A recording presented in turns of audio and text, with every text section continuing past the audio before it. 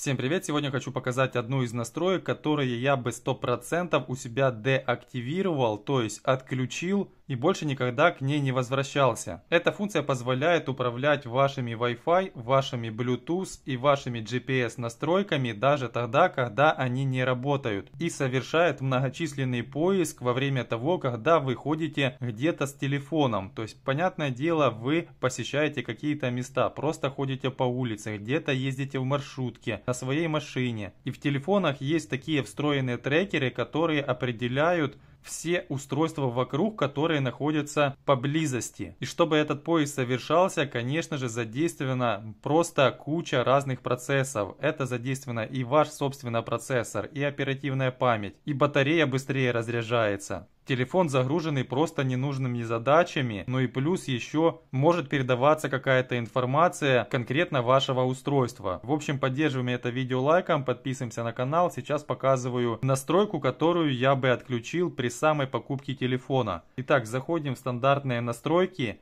и здесь ищем раздел, который называется Google. Я думаю, что он есть на каждом телефоне, потому что в любом случае вы вбивали элементарно свой Google аккаунт, чтобы пользоваться Play Market, либо другими сервисами.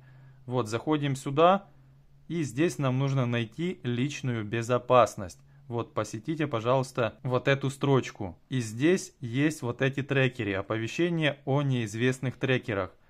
Вот, когда я зашел, я просто был в шоке. Помимо того, что вот эта функция, она включена, то есть разрешить оповещение, вот здесь также у вас еще могут быть включены ваш Bluetooth и ваш GPS. Они работают в скрытом режиме. То есть подключайте Bluetooth, GPS, если есть Wi-Fi, тоже отключайте. И вот здесь обязательно отключите разрешить оповещение.